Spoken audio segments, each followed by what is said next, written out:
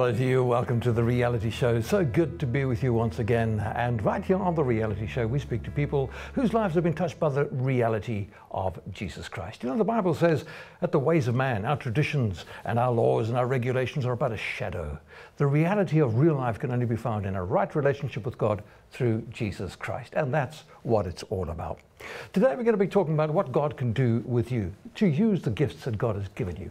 I'm joined in the studio today by Pastor Peter Jenkins. And Peter's an amazing man of God. He's a pastor, he's a broadcaster, and in his words, is a product of the 1904 Welsh revival. Peter's also involved in, in missions works in, in, in Philippines and other parts of the world. Peter, thank you for joining us on the reality show. It's my pleasure. It's nice to see you. Good to have you with us. Amazing stuff. Well, a product of the 1904 Welsh revival. Tell us about I that. I grew up, and all anybody ever spoke about was the Welsh revival, which had happened, you know, 40 years before they were referring to it. My grandmother was an eight year old girl in the Welsh revival. She lived in a place called Bedlinog. Now, I might start speaking with a bit of a Welsh accent because it was in Merthyr Tydfil, you see, in South Wales. And when the revival broke out, there were meetings every single night. You know, you didn't have a meeting once a week, every night. Miners came from the pit straight to the church. Wives often took their sandwiches to the church. They stayed all night and went back down the pit. It was just incredible. And it started with a handful of young people praying. We've got to get back to praying, you know. We are need, it's a sad thing to me. Every Christian will say they believe in prayer, yet the prayer meeting is the least attended meeting in nearly every church I know. Doesn't make sense. So young people started to pray. Evan Roberts is a very well documented thing that happened. And my grandmother wanted to go to one of the meetings. She was eight years of age. She went to the church, well, a chapel, we call it in Wales. We have chapels. She went to the chapel, and the entrance to the chapel was a little sort of porch area with a stone cold floor. The deacon said, Children are not allowed in here. The conviction of sin was so heavy, men were, were screaming out for mercy, Dudley. You know, we don't, we don't hear much about that these days. People want to be made to feel happy. They want motivation. They don't want a message. They want therapy. They don't want theology. That's where we go in today. It's a, it's a bit of a thing. But so my grandmother said, "Well, can I just stay here in the entrance porch of the church?"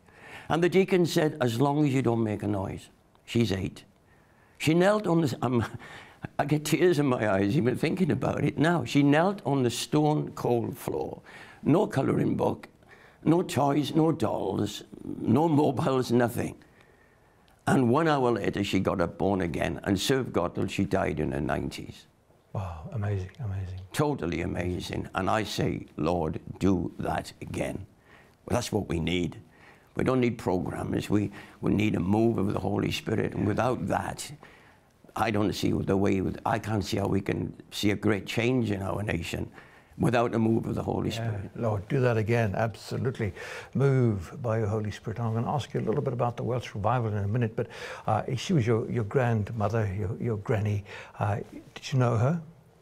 Sorry? Did you know her? Oh, Yeah, yes, of yeah, course. She okay. told me that story. That So came she from her told you the story, so she had an input into your life. So Oh, yeah. Well, I, my, how did you come to come to know Jesus? My granddad, um, my, my father's mother died when, when she was um, having a, a baby. My dad was five.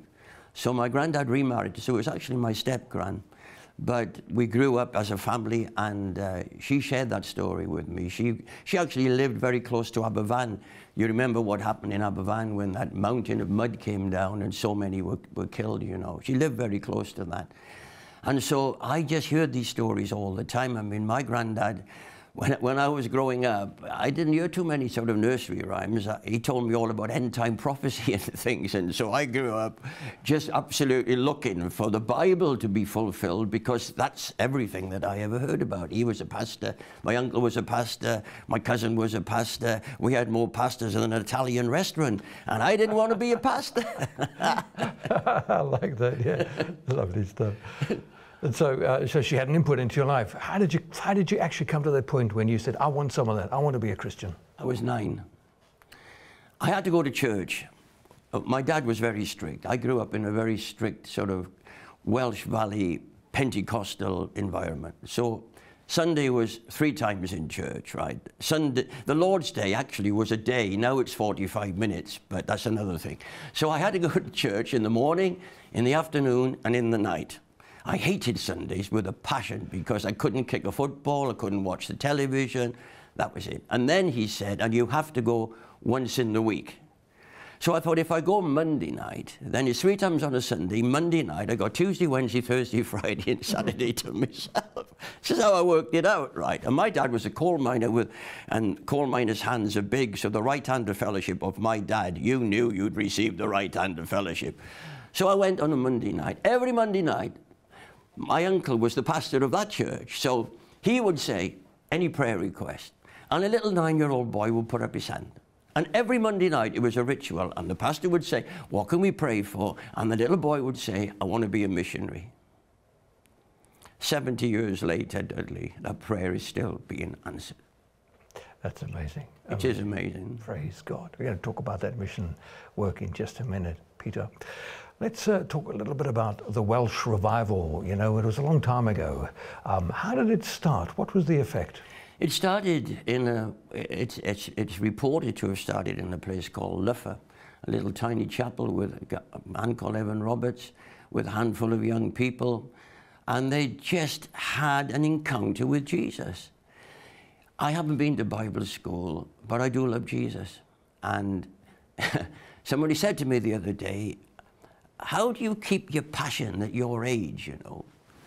And I've thought about that. And there's only one way that that little nine-year-old boy is still serving Jesus at my age, which is a few years down the road, is because I love Jesus. And they had an encounter with Jesus which transformed them.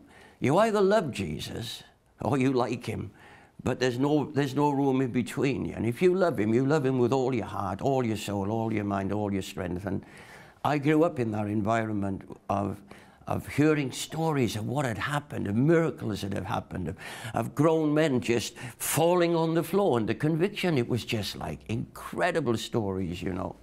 And that, that had a massive effect on me because we started a church when I was 16, five of us. The oldest one was a man called Paul Mercy, who was our youth leader, and the rest of us were teenagers. I was 16. How can you start a church at 16? We didn't have a clue what we were doing. We had open air meetings. I played a trombone, somebody played a violin, somebody played a piano accordion. We had open airs. The noise was so bad that people used to come and find out what the noise was. And nobody ever said we come to find out what the music is. They came to find out what the noise was. Can you believe it? And as they came every Tuesday night, we, we ended up with a congregation and we had no building. And it was, that was 1961, when, uh, when, when we, we started that church in open airs, we didn't know what we were doing, but we loved Jesus. There's no substitute for loving Jesus. So if you're going to use what you've got, then it, whatever you've got, it could be a couple of loaves and a few fish. But if you give it to Jesus, if you love Jesus and give him what you've got, you'll be amazed what he can do with it. I'm a living testimony to that. Absolutely. That's what we're talking about today, using what we've got uh, to serve the Lord. Uh, you mentioned earlier, you said uh, you threw away a little statement uh, that today we're looking for um, therapy rather than theology. So, uh, can we expect a revival like that today? No, Peter. No, because the Bible tells us that in the end times, Paul writes to Timothy, many will depart from from the truth, from sound doctrine, and will go after teachers with itching ears, telling them what they want to hear that's very much the culture we're living in. Now, people want to feel comfortable. They want to be happy. They want a massage. They don't want a message. They want to go home feeling happy, but don't preach about conviction and repentance because that doesn't make them feel too good. Um, I pray, God, send the Holy Spirit. And I don't put any conditions on that. Mm. Let God do what He wants to do. Mm. But without the Holy Spirit, why did the Holy Spirit come? He came to convict convince and warn us of coming judgment. And so we need the Holy Spirit to reveal that to us more than ever. I really believe that. And he is called the Holy Spirit. He's called the Holy Spirit. Perfect in every right, in every way. Um, uh, do you think that's missing a little bit in the church today, that holiness, that ethic of, of the principles Because we want to be so culturally relevant today. You hear this all the time, you know, the church must be culturally relevant. I do a Friday night and a Sunday night live stream on my Facebook. Um, and on a Friday, we do Bible study. We do in the book of Revelation. 27th week, we are in the book of Revelation. It's the most neglected book, but yet it tells us what's going to happen. How can we neglect the book that tells us what's going to happen? I don't know. And then on a Sunday night, I look at sort of prophecy update, how prophecy is being fulfilled today. Because there's two and a half thousand prophecies in the Bible, but 2,000 have been fulfilled, which means even in my maths, there's 500 to be fulfilled. And some of those are being fulfilled even now in the world that we are living in. Some, the Bible becomes alive, you know, when you see it as a living book. It's the Word of God which, which, which, which will endure forever. And my heart is saddened when leaders of some of the churches are trying to rewrite the Bible, change what the Bible says to suit the culture. That'll never work. Mm, absolutely not. So you gave your life to Jesus at age nine and you developed this passion for missions. You I did. eventually became a pastor.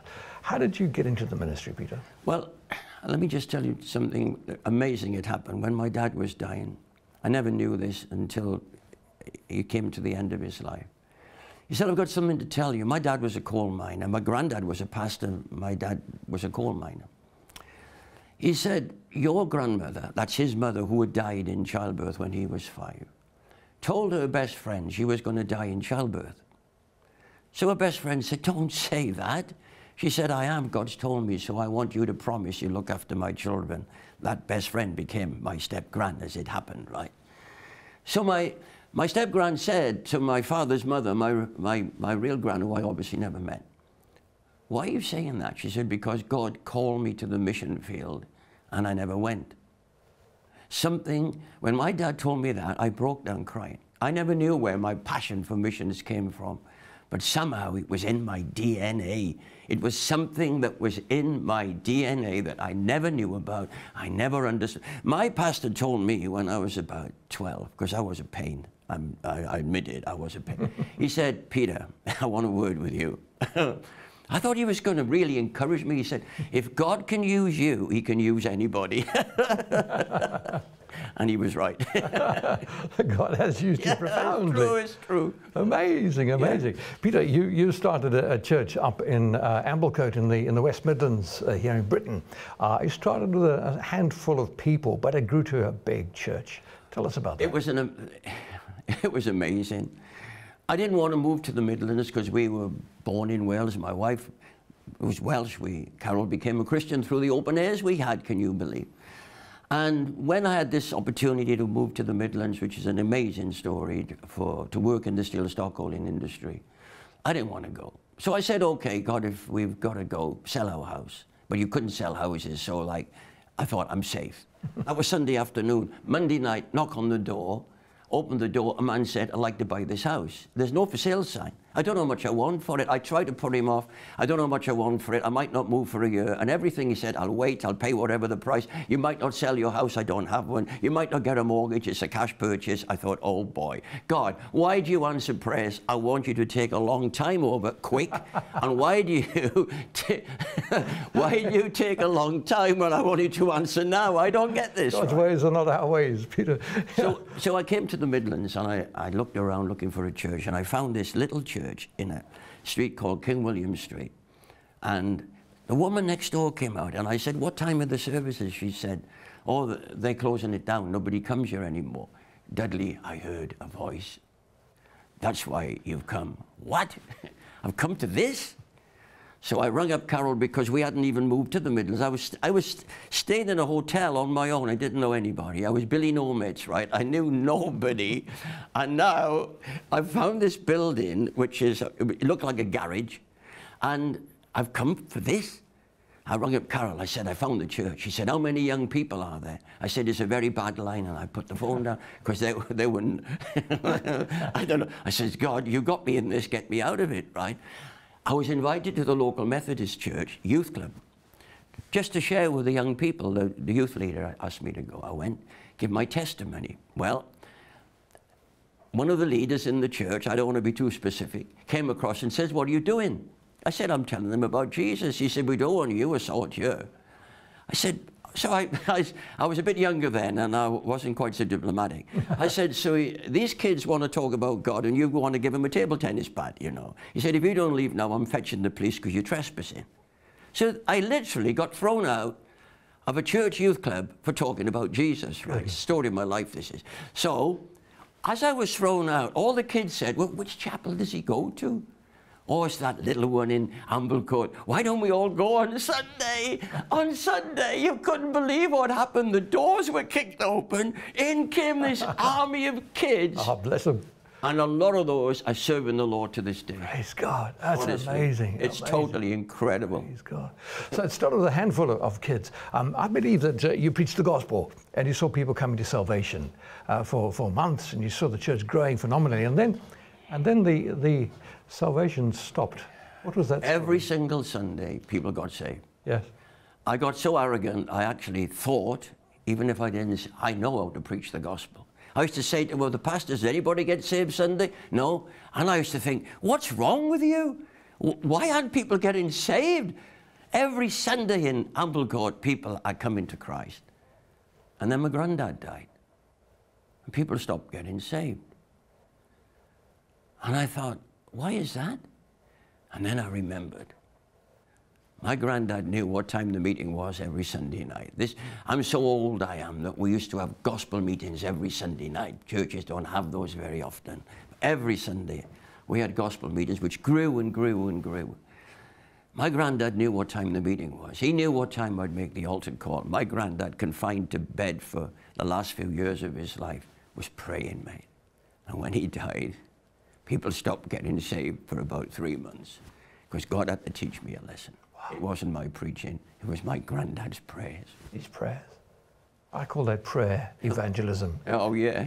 I have a, a list uh, with names on it. I call it my EPL, my evangelism prayer list. Yeah. How important is prayer in evangelism? Totally. It's, we need, it's, the great, it's the most neglected thing. We don't have time to pray. But I am genuinely spending more time praying, and I'm also learning to pray a little bit more like Jesus. What do I mean by that?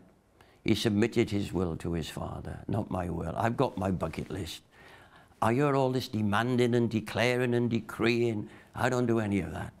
I bring my request to him and then I submit my prayers to God and pray, let your will be done. And I feel I just got so much peace in that. Mm -hmm. I really have. But you can't pray too much. That's a sure fact. Yeah, yeah, absolutely. Jesus said, uh, None can come to me unless the Father draws them to Him. Uh, so when we pray, we need to pray that God will draw people uh, to Christ. Absolutely. I can't pray for somebody's evangelism because evangelism, I'm sorry, I can't pray for somebody's salvation because their salvation has already been done yeah. 2,000 years ago. Yeah, yeah. They've got to appropriate it. Yeah, of course. They've got to pray the Lord will draw them to Jesus. That's powerful stuff. Peter, then you uh, got involved in, in broadcasting, radio broadcasting. We're on telly now, but you, you've done a bunch of radio. Tell us That's about where that. we met. That's where we met. That's where we met. I think I had black hair then. I can't remember. it was a few years ago. it was a few years ago. That was a good time, though, really. So tell us about it. What, what were you doing? Well, my involvement was I was so privileged to uh, to meet a guy called Danny Chirangi, who we, we together run a, a church today in West Bromwich. It's a bilingual Asian church.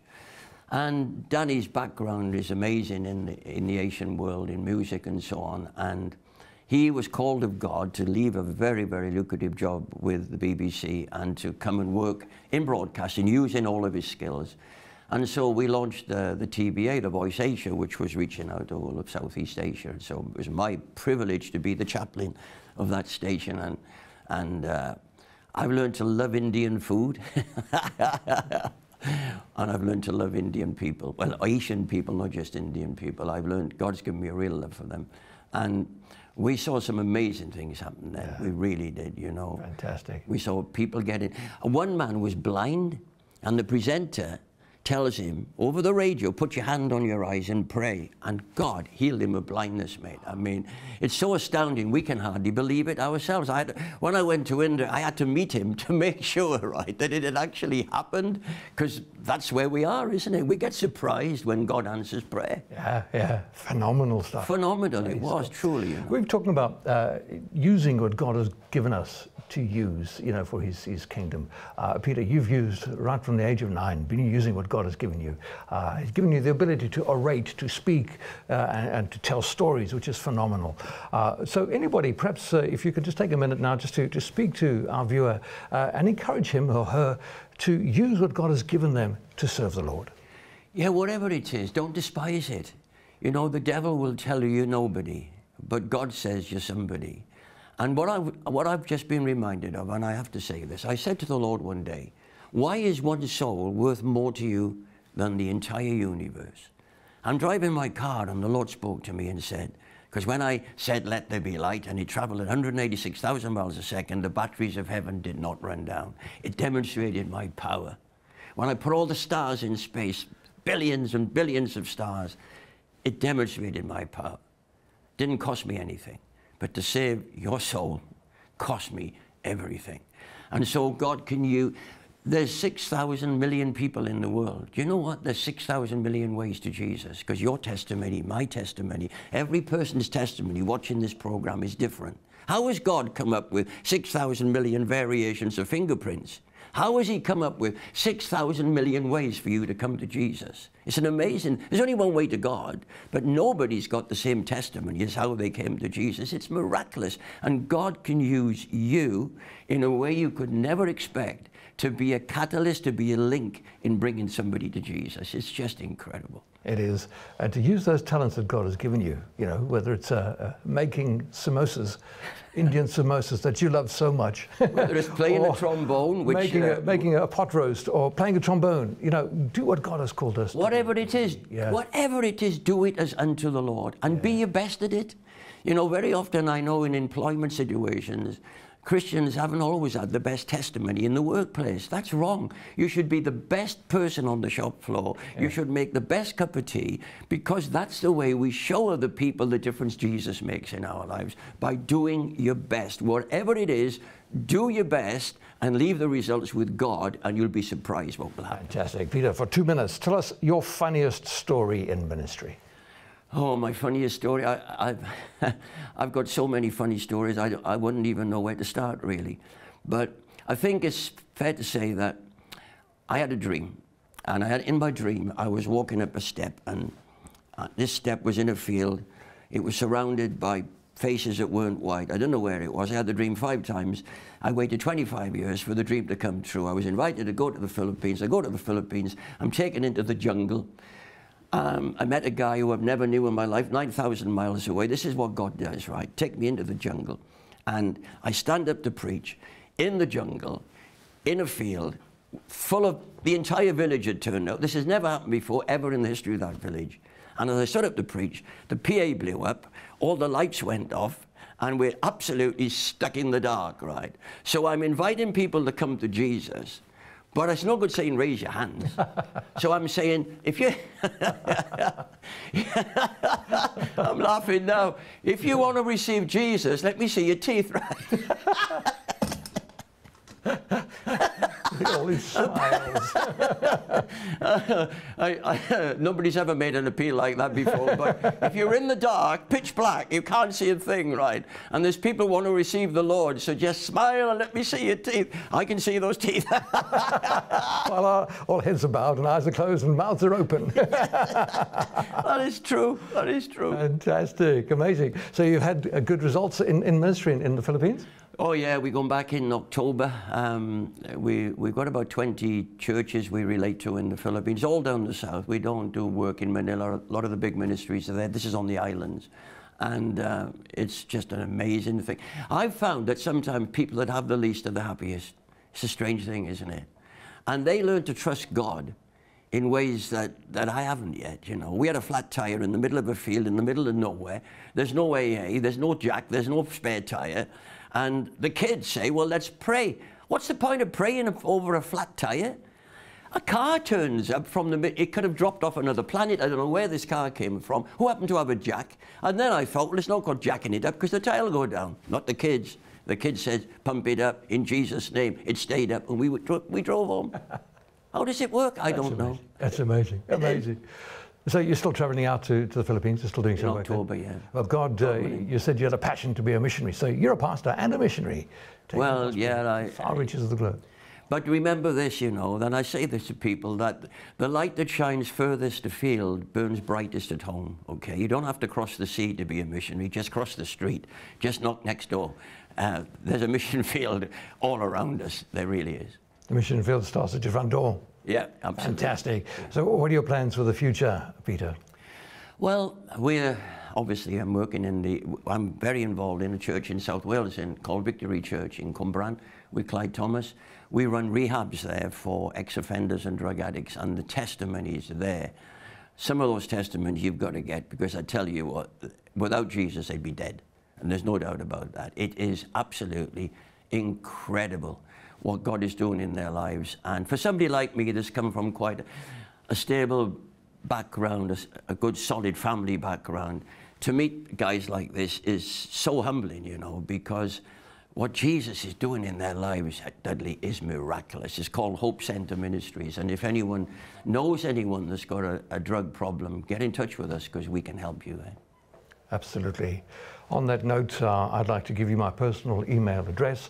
If you'd like to make contact with Peter, please drop me a note. It's dudley at surereality.net. Peter, it's been fantastic speaking to you. Thank you so much for joining us on The Reality Show. My privilege, thank you. You know, we've been talking about uh, using what God has given us uh, for His purposes, for His kingdom. Uh, God has given you talents, He's given you abilities. Jesus taught a parable on talents. Now, biblically speaking, a talent was a currency of money, but I don't believe it's a coincidence that it means a gift or a talent in our day and age. And the Lord has called you to use those gifts for the kingdom of God, to give it all you've, you've got. God is calling us to, uh, to serve Him, to do all that we do with all our might. That is excellence. God has called you to be all that you are and not more than you are. You can't be more than you are, but you can indeed be all that God has called you to do and to be. So if you've got a gift, perhaps it's making food, perhaps it's making music, use it for the kingdom of God. Thank you so much for your time. Once again, that email address, dudley at surereality.net. I'd love to hear from you. Till next time, God bless you. Keep your eyes on Jesus. Take care now.